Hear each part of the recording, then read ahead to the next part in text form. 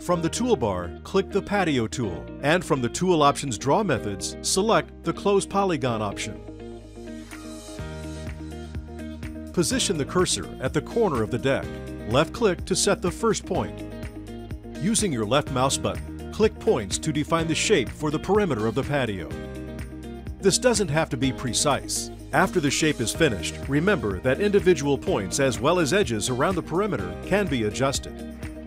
Notice the alignment lines that appear to help you align with different points in your drawing, like for instance, the corner of that deck. Continue picking points around the pool, finishing by repicking the first point and the patio would be drawn. Let's go to 3D. We will go to our materials and from the Custom Library dropdown, we'll choose Belgard Hardscapes. Drag and drop the material onto the patio surface.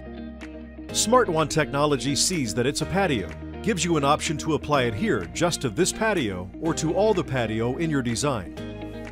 Experiment until you find the material that you like.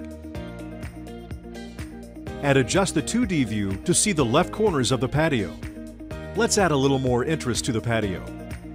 Choose the Fillet tool in the standard toolbar on the left. Click the corner point that you wish to curve. Then click and drag that point with the left mouse button down to create a curved corner. Add a curve to the next corner.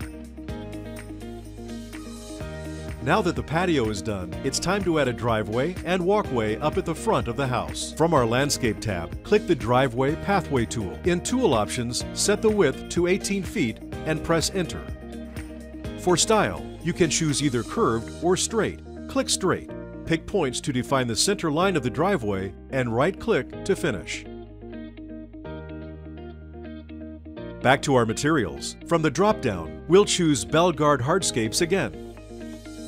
Change back to full 3D view and look around the house at the hardscapes you just added.